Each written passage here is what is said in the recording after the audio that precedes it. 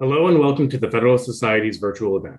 This afternoon, April 21st, 2022, we discuss Courthouse Steps decision, United States versus, versus Tsarnaev, Tsarnaev, rather, sorry. My name is Ryan Lacey, and I'm the Assistant Director of Practice Groups at the Federalist Society. As always, please note that all expressions of opinion are those of our expert on today's call. Today, we are fortunate to have an excellent speaker in Kent Scheidegger, whom I'll introduce briefly. Kent is a legal is the legal director and general counsel of the Criminal Justice Legal Foundation, where he has served since 1986. He also served as chairman of the Criminal Law Practice Group at the Federalist Society from 2003 to 2005. After receiving his degree in physics from New Mexico State University, Kent served six years in the United States Air Force as a nuclear research officer, and he earned his law degree from the University of the Pacific McGeorge School of Law.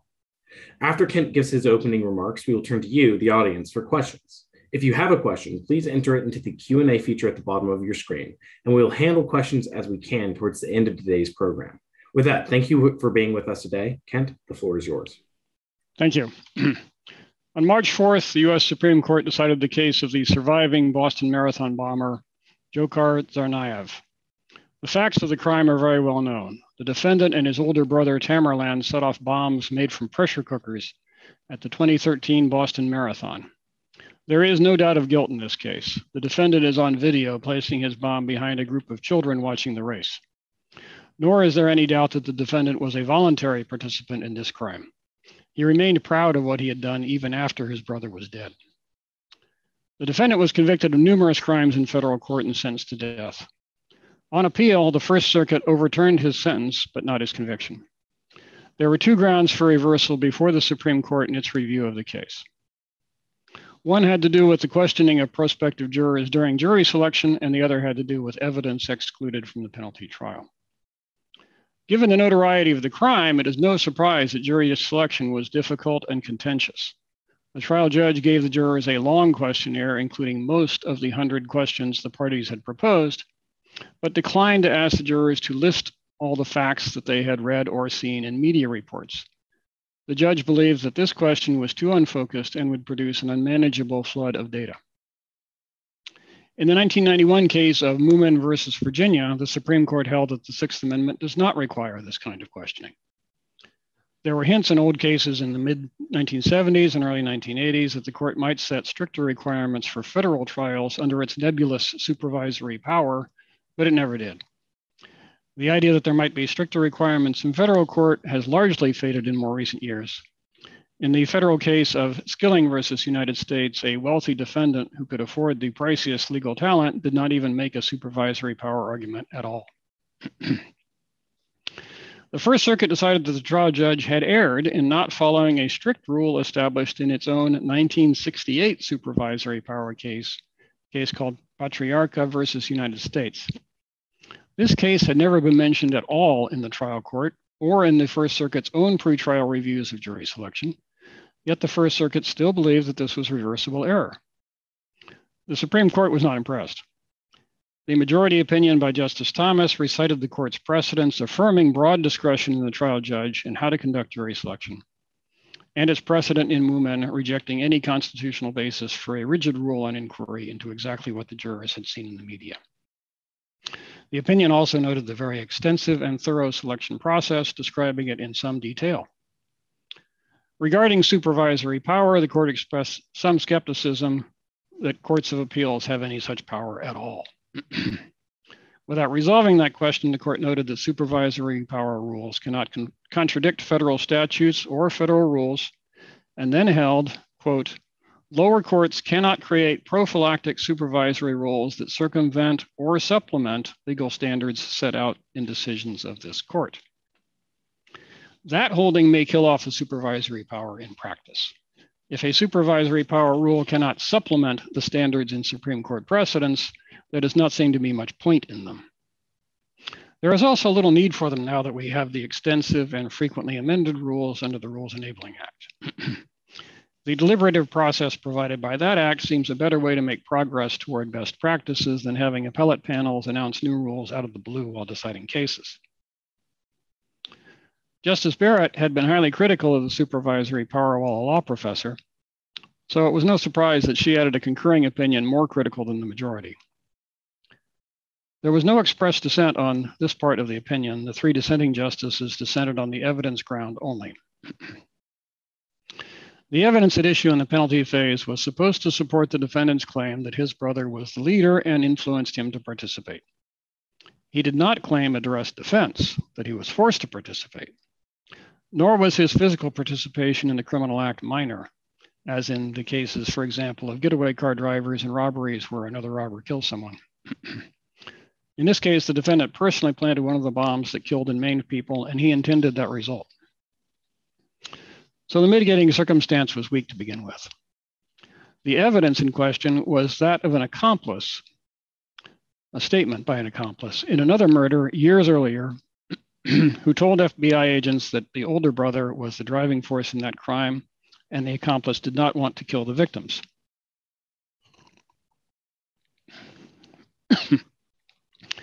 A hearsay statement of one participant to a crime seeking to shift blame to the other is one of the weakest forms of evidence. No further evidence on who actually did what was available by the time of the defendant's trial because all the participants were dead.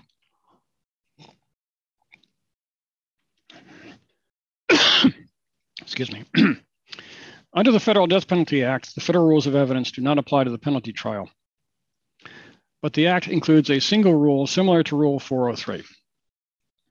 The trial judge may exclude evidence, quote, if its probative value is outweighed by the danger of creating unfair prejudice, confusing the issues, or misleading the jury.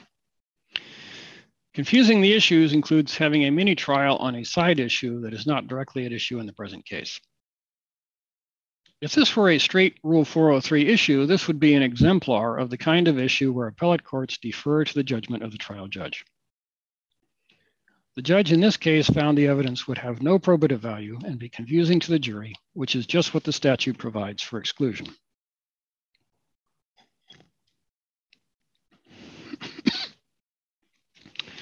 the argument to the contrary is based on the idea that the Eighth Amendment requires admission of otherwise inadmissible evidence if it has any relevance at all to mitigation in the penalty phase of a capital case.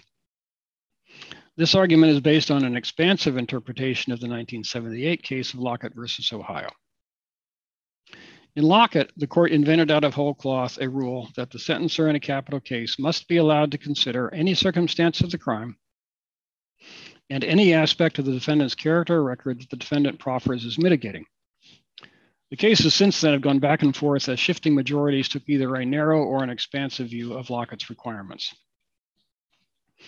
Chief Justice Roberts has aptly called this body of case law, quote, a dog's breakfast of divided, conflicting, and ever changing analyses.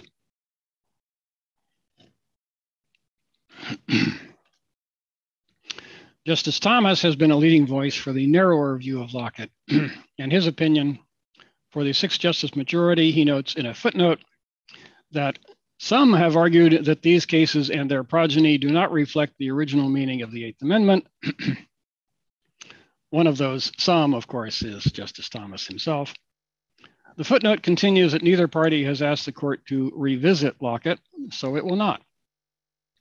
But this footnote, in an opinion of the court, not a concurring opinion, is the clearest signal yet that this is a possibility. The actual holding of the case is that the, the cases, uh, the court's precedents do not support the defendant's, quote, extreme position. they certainly do not dictate that position. It would be an extension of the Lockett rule to make the rule that the defendant asked. Yet both sides do have some grist for their mills in the divided and conflicting body of cases under this precedent. for the present and the immediate future, justices who are skeptical about the whole Lockett line have a solid majority. We can expect no further extension and possibly some pruning back. Indeed, we have already seen some pruning back in Jones versus Mississippi, the juvenile life without parole case. We might even see an outright overruling of the Lockett line if the court decides to stop playing cafeteria originalism with the Bill of Rights and starts applying the same analysis to the Eighth Amendment that it applies to the other amendments. Well, thank you very much. Uh, we can go to questions now. Thank you very much, Ken. It's, it's certainly a, a very interest, interesting case.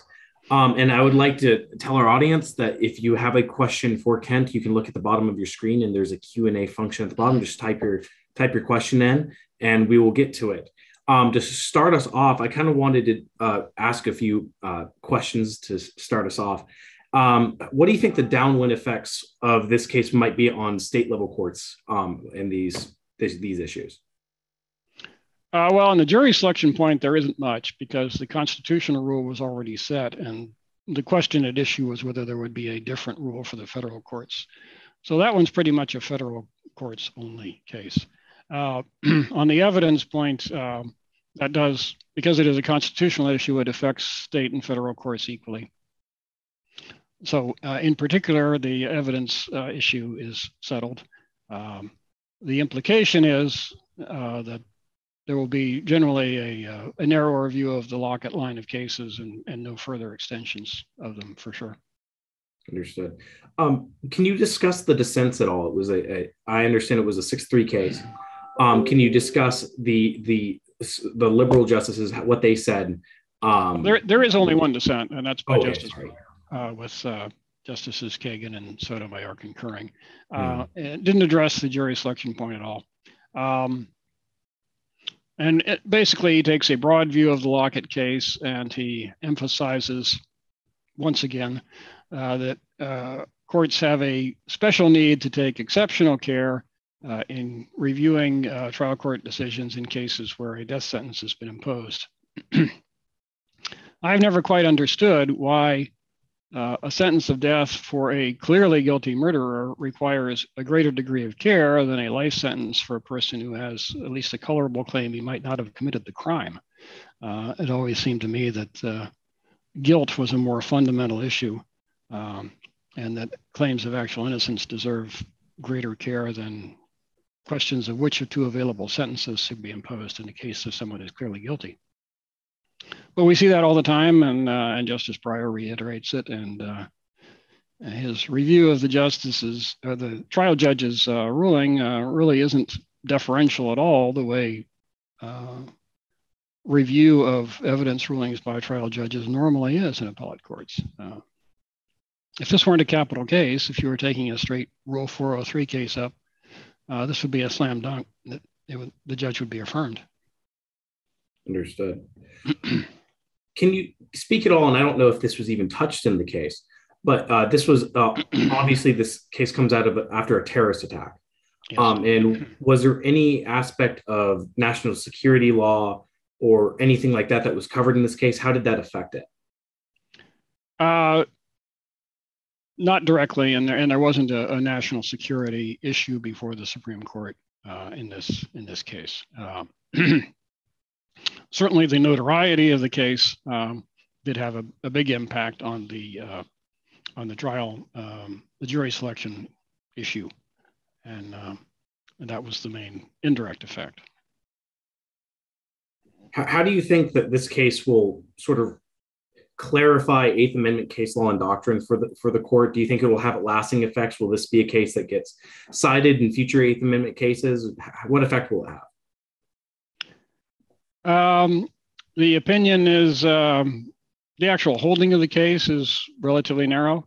Um, that there are implications um, that may be cited, and uh, um, Justice uh, Thomas, in the opinion of the court, quotes uh, his own opinion from decades ago in the Graham case, which I, has always been one of my favorites.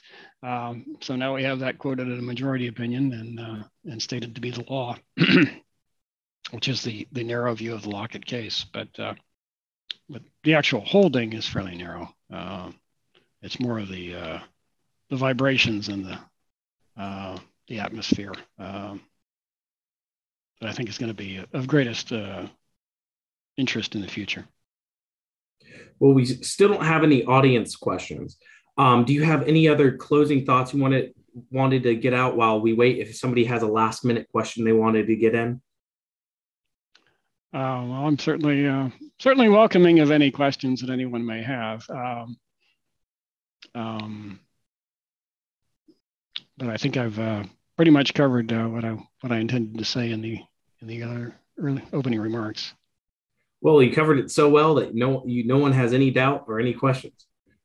So, w- w- without any questions, I would like to thank you, Kent, for the Okay. for the for your valuable the benefit of your valuable time and expertise today. And I would love to thank our audience for joining us and for participating, even though we didn't have any questions.